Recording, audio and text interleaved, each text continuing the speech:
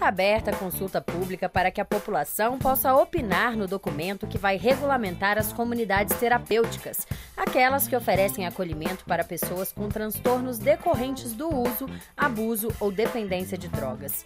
O texto está disponível na internet para que a sociedade possa fazer sugestões até o dia 28 de fevereiro. O endereço é obid.senad.gov.br.